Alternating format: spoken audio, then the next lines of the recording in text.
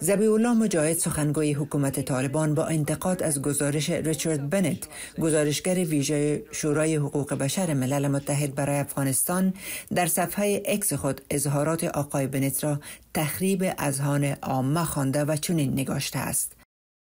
گزارش بعضی از اعضای سازمان ملل متحد به خصوص گزارش ریچارد بنت تلاش برای تخریب اذهان در آستانه نشست دو است. متاسفانه بعضی از اشخاص عقده‌ای در سازمان ملل همیش تلاش دارند تا در مورد افغانستان گزارش های نادرست ارائه کرده و پیشرفت های بزرگ را تحت شعای موضوعات محدود قرار دهند. این گزارش که تحت عنوان پدیده نظام نهادی نشده تبعیض، جداسازی، به احترامی به کرامت انسانی و محرومیت زنان و دختران افغان نشر شده، وضعیت بشری زنان و دختران افغان را تحت حاکمیت طالبان به تحلیل گرفته است. آقای بنت در این گزارش بیان داشته است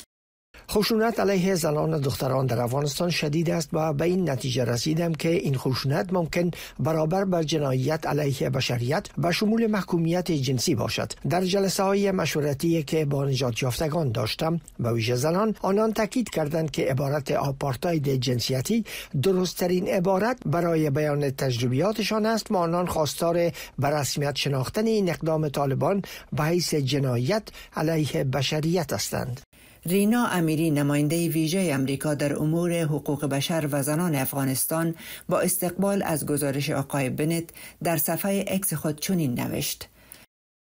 از گزارش قوی شما و حمایت دوامدارتان از حقوق همه افغانها لغو احکام افراطی طالبان که حقوق زنان و دختران را سلب کرده است و شمولیت زنان افغان در روندهای سیاسی سپاسگزارم.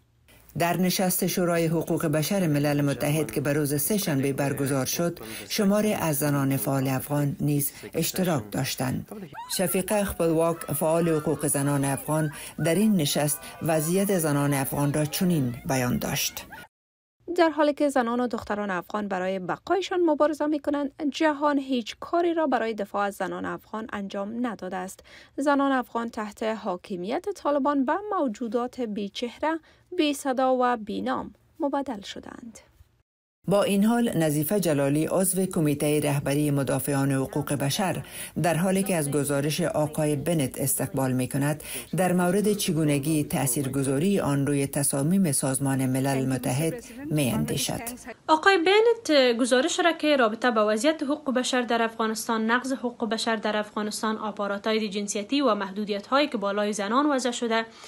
این گزارش را به طور بسیار جامع و کامل و با تفسیر و جزئیات بسیار خوب با همکاری نهادهای حقوق بشری ارائه کردن. ولی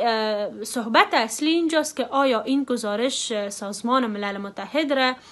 با در نظر داشت مندیت خودشان متوجه مسئولیتشان در قبال افغانستان می سازه آیا سازمان ملل متحد آماده ازی خواد شد که در قبال افغانستان یک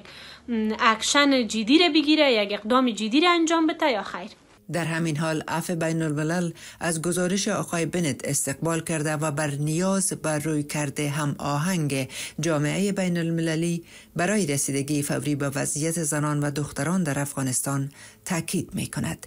نجیبه خلیل تلویزیون آشنا صدای امریکا واشنگتن